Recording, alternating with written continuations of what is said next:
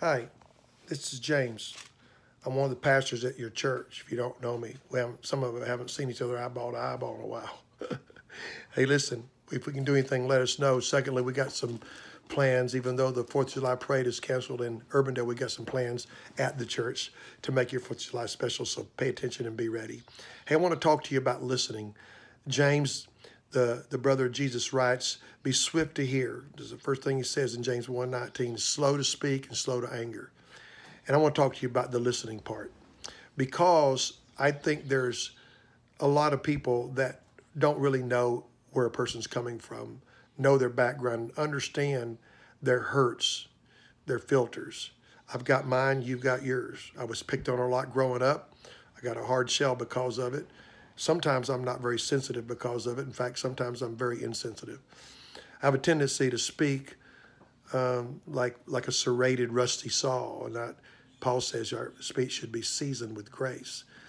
And uh, I need God to help me and I need you to love me through it, understand, and to speak truth to me in love, uh, with with kindness and with the, the right tone, and help me as I would try to do you and to each other.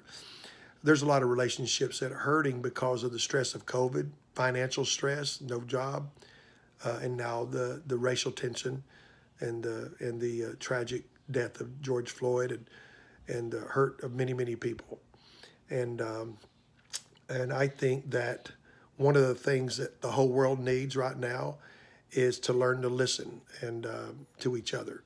Truly listen. I don't care what arena we're in, to listen. And um, my my wife and I, we're having, you know, we're we're on top of each other, you know, working home and that. And while while back, she said to me, teasingly, laughing, that I can't quit work till I'm like 70, and I've changed it now or 80, she said, I believe. And I changed it to 100. But I said to her, she said, Well, you're driving me crazy. I told her it was a short drive. Of course, we're laughing. But I, I just want you to know that, you know, all of us can have struggles. I think there's marriages struggling because of all this going on and being on top of each other. And one of the answers to that is to have spiritual ears to hear and to hear each other the Bible talks about prayer, and prayer is not just talking to God, but listening. So we got to listen, and we got to listen to each other, okay? We got to listen to each other, really listen not just to words, but the heart, the intent.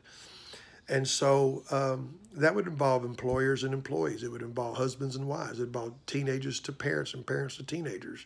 You know, it involves um, uh, our neighbors and our relatives. Uh, you know, like really listen and with your heart and have compassion. Paul says, "Let your speech be seasoned with grace." In other words, lovingly. You know, words should be used to build up, to encourage, to uh, to love, to express words of forgiveness, to sp- spread words of faith and words of hope. I mean, use those words. Another thing that if you got a lot of hurt, you know, don't use your words to talk about it if you want to heal because words give life. Your words bring life. And if you got a hurt and you keep talking about that hurt, you're keeping that hurt alive. Quit speaking it out loud. You can't help but maybe cross your mind, but don't talk. Don't let it come out of your mouth because it's like picking a scab uh, continually off a sore, never let it heal.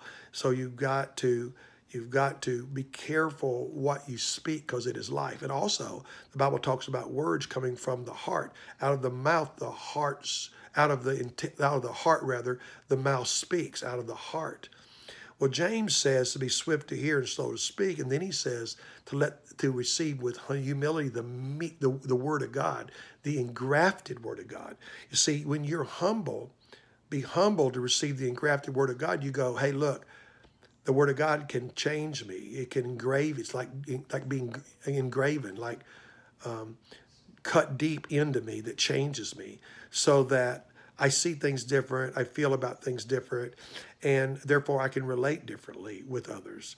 And so, so uh, you know, be humble to realize, hey, there's some things in me that can change, and use the Bible, the grafted word, to change you. And it goes on down like later, and it actually says that talks about religion in James 1, verse uh, 26. He says, If any man thinks him to be religious, and he says, and yet does not bridle his tongue, he deceives his heart. This man's religion is worthless.